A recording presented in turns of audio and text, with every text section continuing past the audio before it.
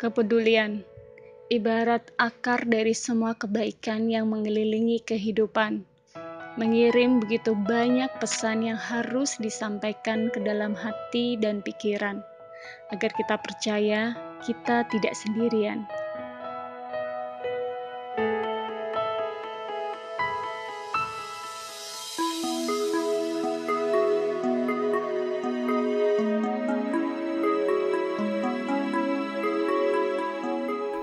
Ketulusan itu yang selalu saya pelajari dari setiap anak kecil. Mereka dengan indahnya berbagi tanpa berharap pujian. Tak perlu mengenal siapa namanya dan apa latar belakangnya. Mereka hanya ingin berteman.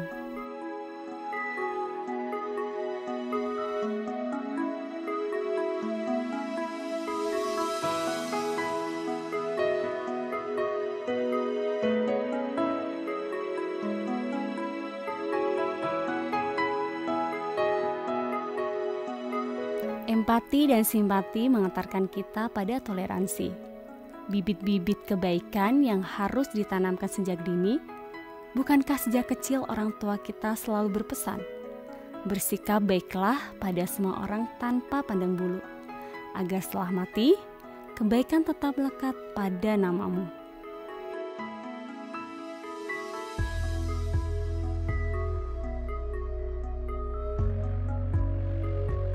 Respect. Rasa itu bisa tumbuh seketika tanpa memandang siapa dan tak perlu bertanya kenapa. Karena satu perbuatan baik tidak pernah punya alasan.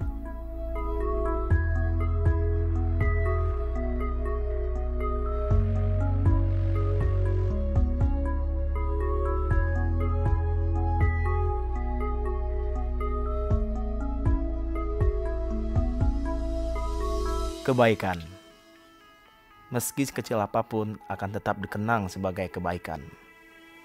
Walau hanya sekedar mengukir senyuman di wajah seseorang. Apalagi membiarkan mereka tertawa. Buat saya, itu hadiah bagi kebaikan jiwa.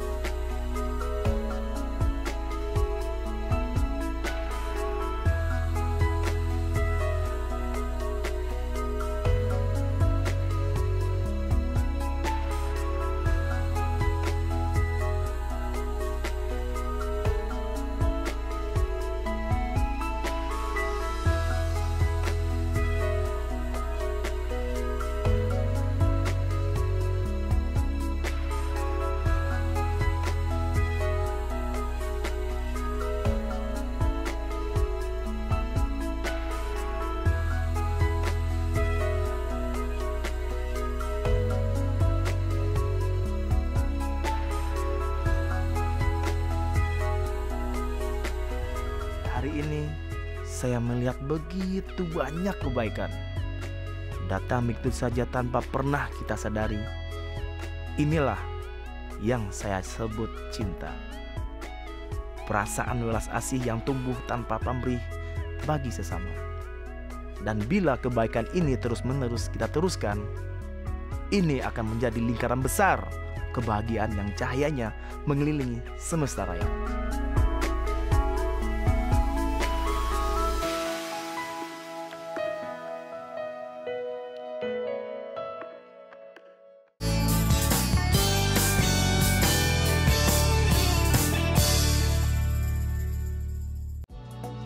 Hanya berjarak 5 menit dari pantai Jimbaran, Bali, telah hadir Movenpick Resort and Spa, sebuah resort bintang 5 yang dikelola oleh Movenpick, jaringan hotel internasional dari Swiss. Dengan fasilitas kolam renang seluas 2.500 meter persegi yang terdiri dari lap pool, leisure pool, dan kids pool. Tersedia juga kids club yang akan memanjakan putra-putri Anda.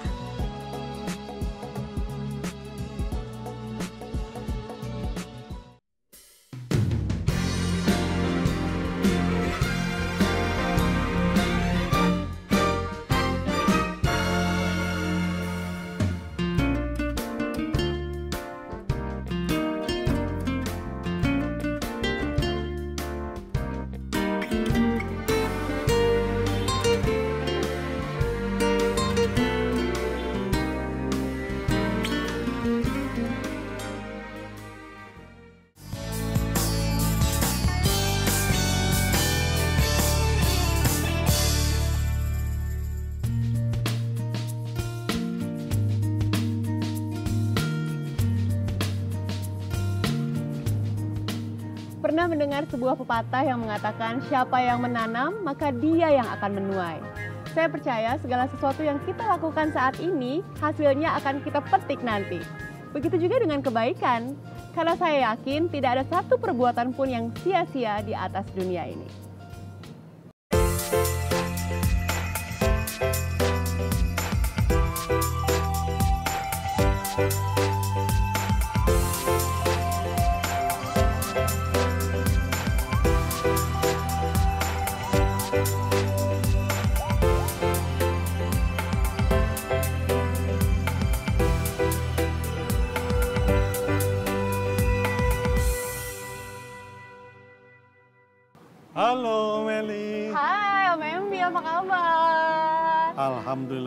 Baik. Duduk dong. Oke. Ih, senangnya ketemu hari ini. Jadi awalnya aku tuh tertarik banget sama segala hal yang berbau kebaikan. Oh, Jadi aku yakin ya Om Embi ya, kalau kita menanam kebaikan, kita pasti akan menuai hasilnya. pasti itu. Sangat setuju. Hmm. Karena bagaimanapun juga hidup tercipta karena sesuatu yang baik. Kehidupan itu kan terjelma karena kasih dan sayang Tuhan kan. Hmm. Jadi tidak mungkin apa namanya keburukan yang menciptakan eh, kehidupan di dunia ini. Di kehidupan modern seperti ini, orang yang masih tulus tanpa pamrih berbuat kebaikan, masih ada nggak sih? Sangat banyak, sangat banyak. Cuma saja orang-orang yang baik ini memang pada umumnya tidak pernah pengen dilihat orang. Hmm. Jadi ti- tidak nampak. Ya. Berbeda dengan apa namanya kebaikan-kebaikan itu sendiri. Kebaikannya banyak dirasakan orang, tapi orang-orangnya itu memang sulit dilihat. Tapi saya yakin sangat banyak. Kita perlu nggak sih punya tempat yang khusus didesain gitu ya untuk bisa bersosialisasi, untuk meningkatkan kebersamaan dengan sesama. Manusia kan makhluk sosial. Kita perlu tempat dan ruang itu menjadi sesuatu yang sangat penting untuk mengekspresikan setiap orang. Orang ingin berbagi, ingin mengadu, ingin juga mempertontonkan sesuatu prestasi yang dia punya. Sehingga tempat itu menjadi sangat penting. Dan tentu saja hal ini adalah sesuatu yang harus diupayakan bagaimana menciptakan ruang-ruang untuk kebaikan itu. Kalau kita katakan seperti ini Om, dengan adanya komunitas, kita bisa berbuat sesuatu yang lebih besar lagi untuk bisa berbuat baik terhadap sesama, itu mungkin nggak? Eh, bukan itu bukan kemungkinan, tetapi itu adalah sesuatu yang potensial. Hmm. Jadi komunitas itu sangat potensial untuk melakukan banyak hal yang besar. Hmm. Misalnya komunitas sepeda, komunitas olahraga, komunitas hobi apa pun. Dia tidak hanya semata-mata berkumpul untuk kebaikan-kebaikan yang sifatnya spesifik yang dia sukai. Dia bisa melakukan sesuatu yang bahkan di luar dirinya. Dia bisa tiba-tiba menjadi yang peduli pada taman kota. Oh. Dia tiba-tiba kelompok ini bisa tiba-tiba menjadi peduli sama panti-panti uh, yatim piatu, ya. misalnya seperti itu. Jangan berpikir bahwa komunitas itu adalah sesuatu yang eksklusif. Dia sangat inklusif. Di mana-mana komunitas itu saya perhatikan idenya, gagasannya itu bagaimana kita mereka berkumpul ingin berbuat baik buat orang lain. Sepertinya itu. Begini ini, begini itu. Orang-orang sepeda tapi pedulinya tiba-tiba donor darah. Ya, ya, ya, ya, Misalnya benar. seperti itu. Dia tiba-tiba melakukan kegiatan bersihin sungai-sungai. Iya, iya. Macam-macam lah. Itu macam-macam banyak ya. Oke, jadi artinya lingkungan sekitar kita lah, teman-teman terdekat kita, lingkungan tempat kita tinggal, itu adalah lingkungan yang memang menunjang untuk kita untuk bisa berbuat baik, begitu ya Om? Memang, jadi eh, lingkungan adalah sesuatu yang kita punya. Mhm. Dan setiap lingkungan adalah tempat untuk kita melakukan kreativitas budaya kita. Budaya bertetangga, budaya berteman, budaya eh, berbagi, dan sebagainya. Dari situlah seberapapun tempat yang kita punya, apakah di gunung, di desa, di kota, di mana pun, kita bisa membangun sebuah tempat di mana kita bisa mengekspresikan kebaikan-kebaikan. Dan kalau itu dilakukan dan terus-menerus, kita bisa bayangkan Indonesia betul-betul seperti apa yang dicita-citakan. sebagai sesuatu yang sifatnya ada taman bunga yang beragam, tetapi satu dengan yang lain itu saling melengkapi warnanya seperti pelangi. Om, terakhir nih. Hmm. Tempat yang ideal tuh yang seperti apa sih untuk bisa menciptakan kebersamaan, bisa bersosialisasi, bisa berbagi kebaikan? Yang seperti apa yang ideal? Tempat yang ideal adalah tempat yang hidup. Tempat yang kita cintai, tempat yang aman. Yang terpenting adalah bisa melakukan kegiatan secara bersama-sama. Ah. Bersama keluarga, bersama tetangga, bersama teman, bersama kekasih. Kasih satu aja, Oh, iya, iya. Om. Iya. Oh, makasih banyak ya. Oke, Aku oke. banyak dapat ilmu hari ini. Iya. Uh. Dari langit itu. Dari langit ya? Dari langit lewat Om. Oh. Iya kan?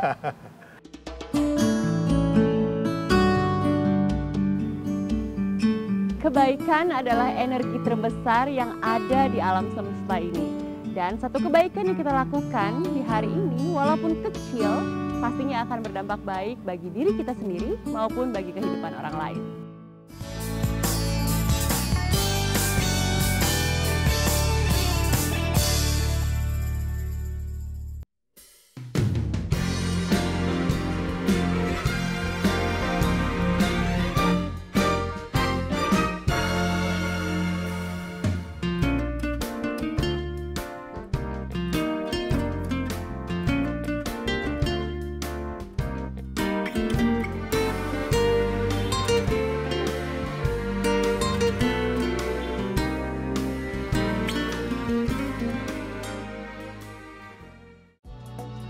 Berjarak 5 menit dari pantai Jimbaran, Bali, telah hadir Movenpick Resort and Spa, sebuah resort bintang 5 yang dikelola oleh Movenpick, jaringan hotel internasional dari Swiss.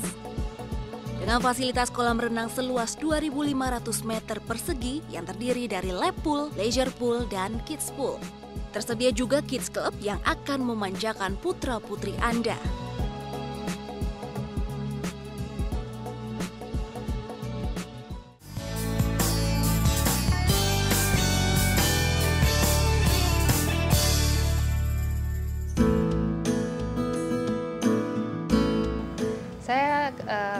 Spring Club udah dua tahun nih. Jadi udah jalan dua tahun dari awal Spring Club buka. Eh, kami sekeluarga milih Spring Club karena lokasi deket. Satu, kedua fasilitasnya lengkap. Kebetulan anak saya sama suami eh, tenis. Rasanya di sini yang ada di sini eh, Spring Club aja nih yang ada tenisnya ya dan indoor lagi jadi eh, nyaman nggak kena panas hujan. Kebetulan juga kolam renangnya Olympic size. Kebetulan saya suka kelas. Khusus saya kebetulan sukanya eh, kelas eh, yang agak ngedance. Eh, kemudian selain itu juga eh, kami sekeluarga suka kalau habis berenang kita makan di eh, restorannya ya. Enak sih oke Eh, harganya juga oke Eh, kemudian kalau misalnya lagi nemenin suami tenis sayanya nganggur ya saya karaoke saya kepikiran mau untuk ngadain Sweet Seventeen anak saya di sini Eh, karena ini berapa kali eh, kegiatan di sini saya lihat eh, baru dibuka Lake Garden. Ya saya lihat kebetulan tamannya bagus banget, desain-desain landscape-nya bagus. Eh, saya suka sekali. Kemudian juga kita udah beberapa kali nyoba makanannya sih enak dan harganya terutama. Jadi rencana kepikiran mau ngadain di sana. Sumarekon Serpong sebagai developer, saya sangat-sangat salut ya. Terus saya pernah tinggal di beberapa tempat. Eh, Sumarekon ini sangat komit dengan janji-janjinya. Jadi dia membuka eh, Spring Cup eh, tahun berapa dan itu terlaksana. Dan eh, untuk tinggal di sini saya nyaman banget karena eh, terus terang dari segala aspek saya lihat eh, semuanya bagus Eh, dari customer service-nya, dari pelayanannya, semua oke banget. Jadi saya puas sih tinggal di sini.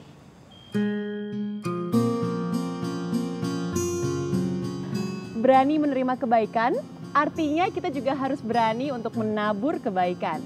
Di bulan suci Ramadan yang penuh berkah ini adalah momen yang tepat untuk berbagi terhadap sesama dan mensyukuri segala sesuatu yang sudah kita dapatkan dalam hidup ini. Segera rencanakan tempat yang tepat agar momennya semakin berharga.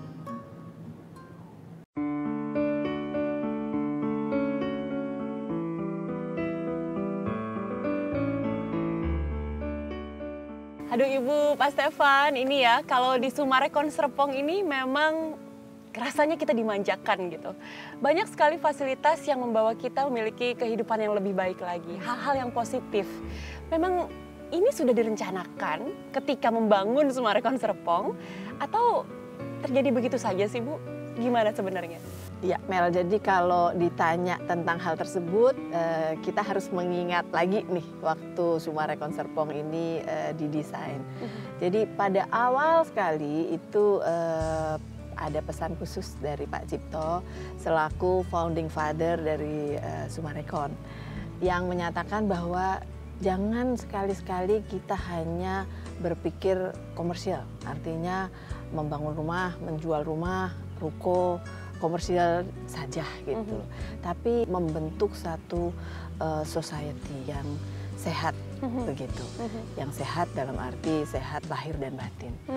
Dan kita coba terjemahkan di dalam master plan. Ya, jadi fasilitas apa saja ya kira-kira yang bisa mendukung terbentuknya society yang sehat ini gitu.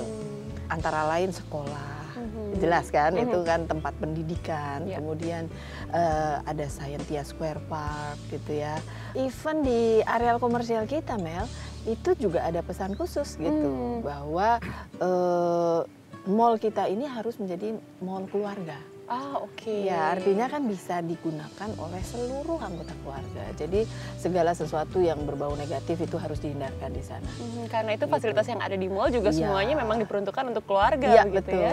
Eh, kita juga punya non komersial seperti misalnya depo seci, Mhm. kemudian depo daur ulang, eh, kemudian depo sampah terpadu. Nah kemudian juga fasilitas olahraga Mhm. seperti eh, Springs Club ini. Iya. Memang awalnya ini adalah didesain untuk eh, kegiatan berolahraga yang lengkap Mhm. dengan standar internasional begitu Mel. Jadi yang paling kita banggakan ya fasilitas sport club kita itu adalah Olympic size swimming pool. Ya itu memang benar-benar luar biasa deh. Dari Iya. tadi pandangan saya lepas dari kolam renangnya Bu. Olympic Olympic size swimming pool ini eh, favorit digemari oleh warga di sini. Jadi mereka yang perlu healthy life itu sudah tahu manfaatnya berenang, sudah pasti akan kembali dan kembali ke sini. Karena memang swimming pool ini suatu olahraga yang sampai sekarang itu masih digemari. Betul. Dan selain swimming pool kita punya begitu banyak lapangan, lapangan olahraga seperti badminton, kemudian tenis, eh, basketball, eh, futsal. Jadi semua macam lapangan kita punya. Oke. Dan terlebih lagi gym. Kita Oh. gym lengkap dengan kelas-kelasnya yang bervariasi. Instrukturnya, kelas-kelasnya instrukturnya Iya, jadi juga banyak eh, ibu-ibu itu yang menggemari kelas datang hanya untuk kelas doang ya banyak sekali seperti itu. Oke, terus saya juga sempat dengar di sini sering diadakan event juga untuk latihan triathlon Benar. gitu ya Pak ya? Benar, kita rutin sebagai host untuk eh, acara tahunan triathlon. Bu- bukan hanya latihannya tapi lombanya ya? Lombanya bahkan di sini. Wah. Seperti itu. kita juga ingin memberikan tambahan sesuatu selain hanya olahraga. Apa gitu. itu, Bu? Fasilitas untuk eh, warga bisa berinteraksi eh, secara eh, sosial gitu. Hmm. Ya, jadi di tempat yang menyenangkan, eh, yang memungkinkan mereka bisa melakukan pertemuan-pertemuan dengan Oke. teman, Iya. dengan anggota keluarga jauh mungkin, bahkan antar warga juga gitu. Nah, eh, ini ditambahkan akhirnya, ditambahkan dan kita eh, tambahkan juga ballroom karena kegiatan eh, sosial itu banyak ya Mel ya, menikah, ya. Hmm, bener. kemudian seminar, Ya. Meeting, Ulang tahun, Mm-mm, halal bihalal. halal bihalal, buka Banyak. puasa bersama Buka banyak puasa sekali bersama, gitu. benar. Kebutuhan itu eh, akhirnya mengalir daftar itu ya. Jadi ya kita coba untuk mem- memberikan wadah yang eh, memadai untuk itu Hmm, semua gitu. Lalu antusiasme dari warga sendiri dengan hadirnya The Springs Club ini Ya. seperti apa nih Pak Stefan? Ya, jadi kalau ini saya amati ya, Mhm. eh, satu tahun itu kurang lebih ada 50 wedding, pernikahan. Wow. Jadi menurut saya ballroom ini cukup digemari. Iya, iya. Sebetulnya kalau dari warga, sisi warga mungkin ini kepraktisannya sih Mel. Hmm. Karena berada di tengah-tengah eh, pemukiman gitu ya. Jadi eh, kebanyakan juga yang eh, sewa di sini orang-orang yang di sekitaran sini lah. Eh, karena terus terang aja kalau orang harus ngurusin misalnya wedding itu kan ngurusnya nggak cuma sekali ya berkali-kali gitu kan capek kalau harus perjalanan jauh gitu ya. Jadi kan di sini dirasakan sekali enak banget gitu kan pulang kantor pun masih bisa sempat kemari gitu untuk ngurusin untuk ngurusin eh, weddingnya itu persiapannya gitu. Jadi itulah hal satu hal yang mungkin mer- membuat tempat ini menjadi favorit gitu. Ya, selain memang desainnya yang klasik elegan, hadir dengan konsep yang cukup menarik sekali buat para warganya. Jadi orang nggak perlu mikirin dekorasi lagi ya. Tidak perlu Udah banyak di dekor. terima jadi dengan Benar, dekorasi yang elegan benar. begitu. Itu yang buat mereka akhirnya value-nya dapat untuk acara di sini seperti itu. Mhm. Lalu selain adanya wedding juga tadi kan Ibu bilang ini merupakan, wadah bagi eh, warga untuk bisa bersosialisasi, Nah. memiliki interaksi secara sosial. Iya. Memang biasanya apa sih yang biasa dilakukan oleh Ya. warga di sini? Banyak ya, pasti banyak banyak banyak sekali. Jadi em, seminar, seminar itu kita sudah semakin sering corporate yang mengadakan acara di sini. Jadi mereka merasa dengan seminar yang di Tangerang dengan ballroom seperti ini, mereka bisa mencapai audiens yang lebih bagus. Seperti itu dan juga ada seperti buka puasa bersama, ya kemudian acara untuk pendidikan banyak kayak wisuda itu banyak juga di sini. Reuni Ah, ya. reuni, reuni Sekarang yang sering. lagi ngetren Lagi tuh reuni ya. Reuni juga cukup satu bulan bisa ada 10 kurang lebih reuni. Iya, satu bulan kurang lebih 10 yang masuk untuk inquiry ya, untuk bertanya seperti itu. Oke, kalau kita bicara soal kapasitas, artinya ini bisa menampung berapa banyak sih Pak? Ya, kita pernah ya mengcater untuk acara pesta itu sampai 1.500. 1.500 Ya, ya. sampai 1.500 orang kita bisa mengcater itu. Dan uniknya ini didesain begini Mel, untuk besar bisa, tapi juga kita bisa eh, mewadahi kegiatan yang lebih kecil dari itu. Ya, Untuk yang jadi memiliki sekat. sekat yang bisa eh, dibuka atau ditutup sesuai dengan kebutuhan. Mhm, benar. sesuai dengan jumlah Mhm. kapasitasnya Ya, ya. ya. Nah kalau kita lihat taman ini juga bisa dipergunakan ya memang ya untuk bisa ada fasilitas Benar. berinteraksi warga gitu. Apa yang biasa dilakukan di sini Pak? Ya, jadi selain kita mempunyai indoor ya, ballroom, kita juga mempunyai fasilitas outdoor yang kita sebut lake garden. Lake garden ini juga berkapasitas sampai 800 orang.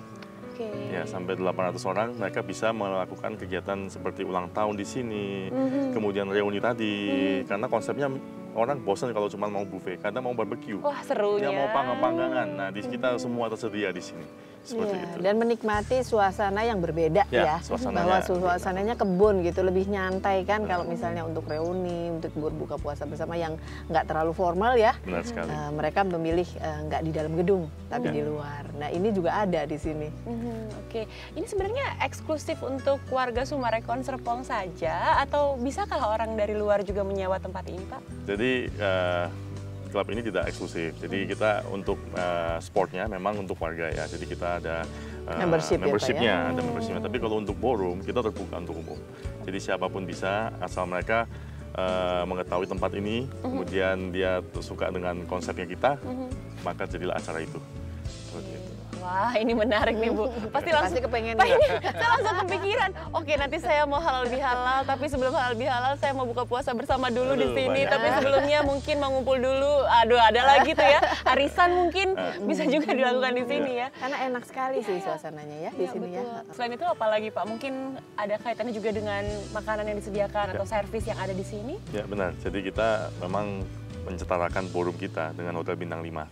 Jadi kita adopsi juga semua sistem uh, kitchen kulinerinya, kemudian servis kita itu tidak kurang standar dari Hotel Bintang 5. Jadi mereka bisa merasakan variasi makanan yang begitu banyak, kemudian penampilannya itu semua eksklusif dan bisa dinikmati oleh tamu Cara penyajiannya Cara juga. penyajiannya Pak. kita tidak Iya. tidak sembarangan seperti uh, menaruh di buffet gitu, tapi kita create sesuatu yang membuat uh, tamu ini merasa ingin pesta lagi di sini seperti itu. Oh, Oke, ingin pesta lagi banyak Ya. anak gitu ya.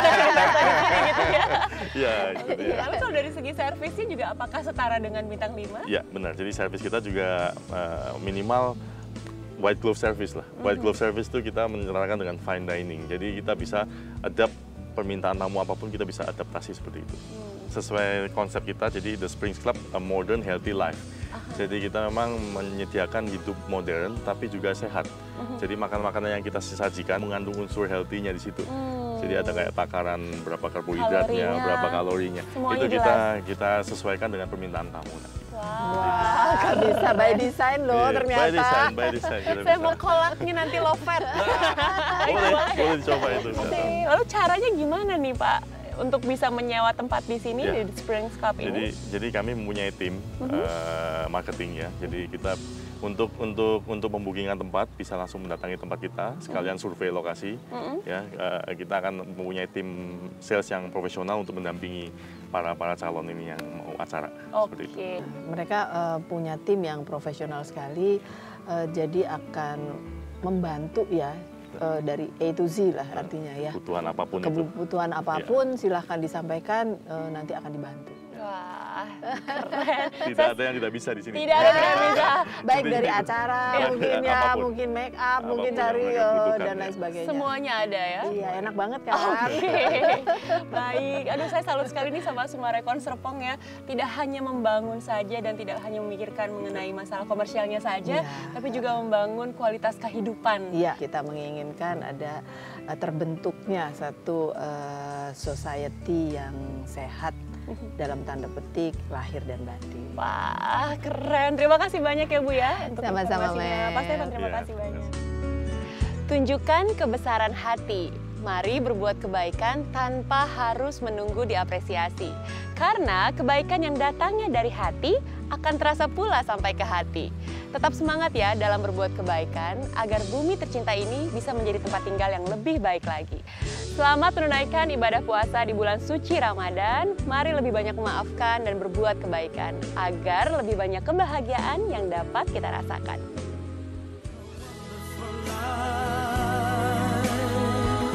So beautiful, it's a wonderful